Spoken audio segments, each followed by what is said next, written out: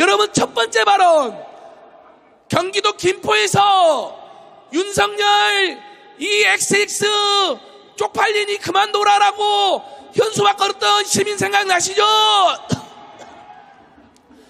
극우단체들이 그 후로 이분을 괴롭혔지만 꿋꿋하게 굴하지 않고 윤석열과 맞서 싸우고 있습니다.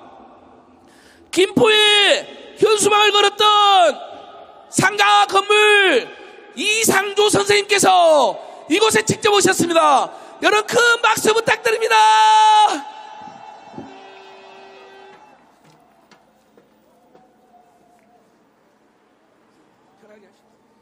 안녕하세요. 반갑습니다. 김포에서 올라온 이상조입니다. 용산에 새들어 사는 곰탱이 새겨들라. 한번 물어보자. 법과 원칙을 얘기했나? 상습 사기에 주가 조작한 네 장모와 수많은 허위력과 주가 조작한 네 마누라겐 왜 적용이 안 되는 거니?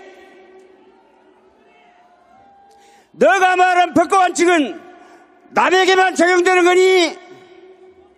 너 직속 쫄개들이 특수부 계감들이 현 대장동 개발과 관련하여 수사랍, 수사랍시고 벌이고 있는 짓거리는 공익의 대표자로서 정의와 인권을 바로 세우고자 노력하는 대다수 검찰들의 노력에 찬물을 끼얹는 배신의 행위이며 특수수사기법이라 빙자한 범죄 행위로 분명히 역사의 심판을 받을 것임을 명심하라.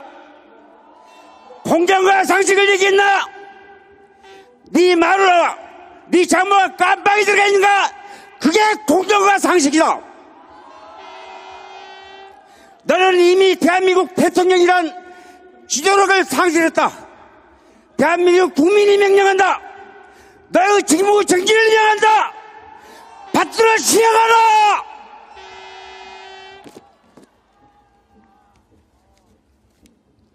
수많은 인파가 몰릴 것이 예견됐음에도 그에 대한 질서 및 예기치 않은 사고에 대한 대비는 되지 않채 대통령이란 자가 똘마니 이상민 한동욱 갑작으로 전 국민을 잠재적 범죄자로 인식하고 마약 범죄다 단속만 집중하여 대명 천지 날벼락 같은 천재지변이 아닌 법과 원칙을 무시 대벌, 대비를 소홀히하고 할 일을 하잖아 우리 생태 가둔 아들 딸 158명을 생죽음으로 내보라 압살한 12구 참사의 책임을 묻고자 이 자리에 섰습니다.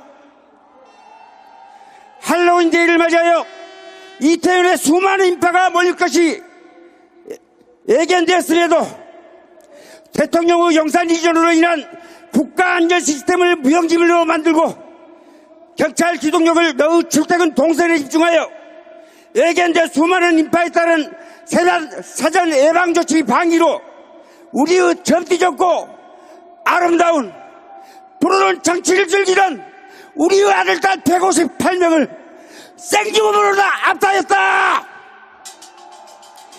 지금 12구 참사에 대한 반성과 사과를 거듭하여도 모자랄 지경인데 국민의 생명을 지켜줘야 할 최고, 최고 책임자임에도 오히려 큰소리치며 그 책임을 현장의 땀 흘리며 동문서주한 소방부 사장과 소방, 경찰 및 공무원의 하위직 공무원에게 덮어, 덮어씌 우려 하고 있다.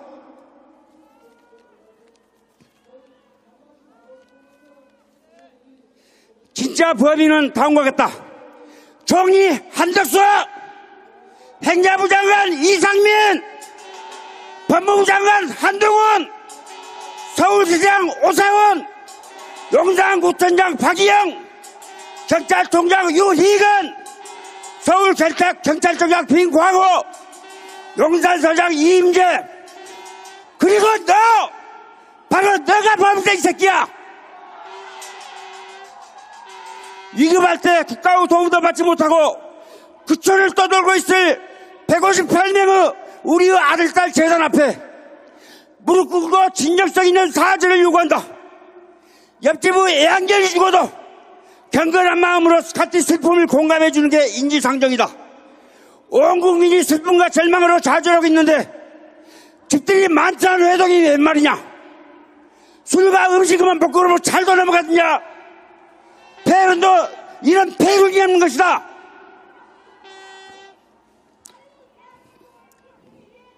급조된 합동분양소에 희생된 우리의 아들, 딸 영장이나 위필도 없는 분양소가 웬 말이냐? 진정 애도하는 마음으로 국가끝 두손 모아 제대로 놓을 줄도 모르고 거기에 대해 근조 리본도 금조 리본에 아무런 주먹을도 없는 리본이라니 이렇게 가당kin 한 거냐? 네 공공 대질 때도 그렇게 했더냐? 에라이! 아 나는 개 호르새끼라고 안 했습니다. 잉.